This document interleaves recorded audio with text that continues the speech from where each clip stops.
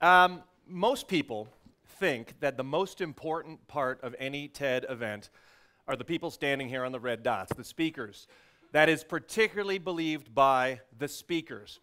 Uh, but I know that's not true. I know the most important part of any TED event or any conversation is not the speaker, but the listener. After all, if an idea falls in the woods, but no one's there to spread it, was there ever an idea? Uh, listening is the key to communication. Listening is the key to every relationship, every friendship, every team, and certainly every event like this.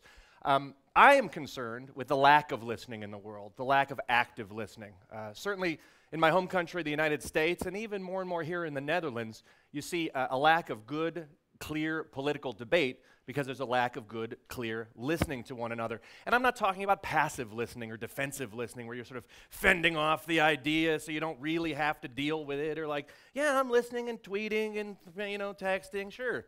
Uh, I'm talking about active listening.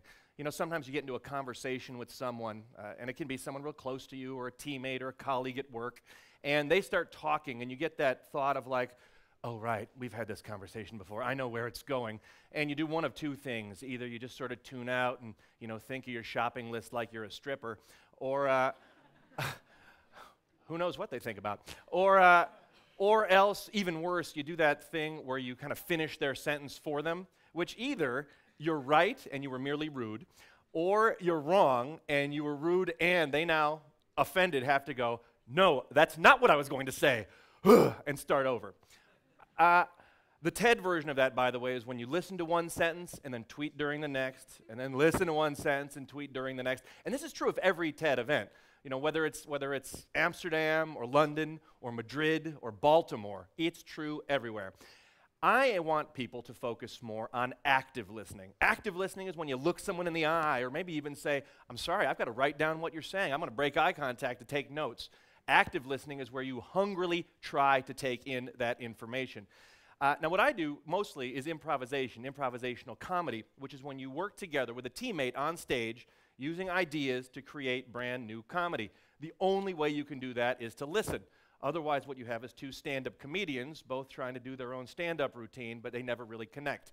I want to demonstrate this right now. I want to invite uh, Kelly to join me on stage. Let's bring Kelly up for a sec. Kelly, thanks for joining me.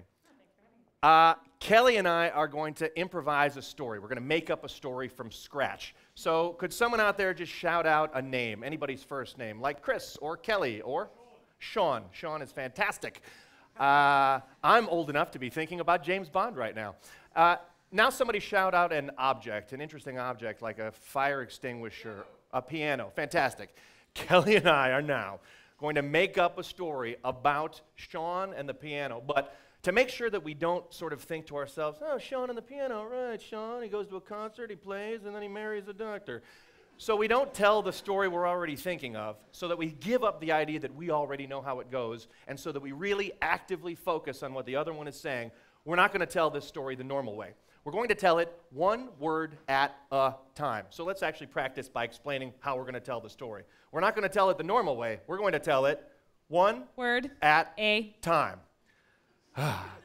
Nicely done, Kelly. The one word at a time story of Sean and the piano.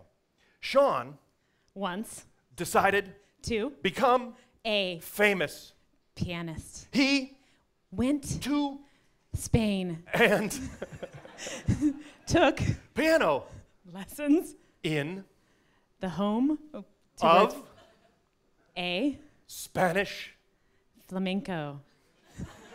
Period.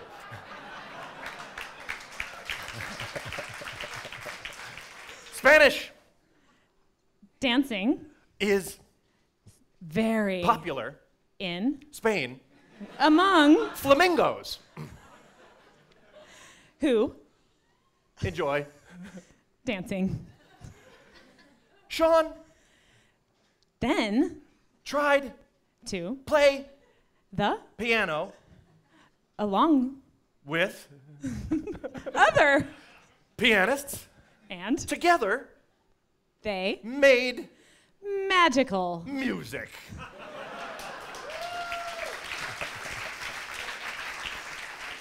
And the story has a moral, and the moral of the story is always remember when Someone wants to play the piano, or dance, they should always go to Spain.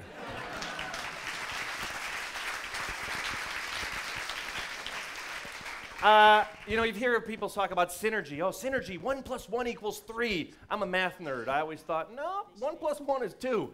Uh, but this is a case where one plus one really takes you to what a creative place you wouldn't have gotten before unless you surrender the idea that you know where the story is going and build it together.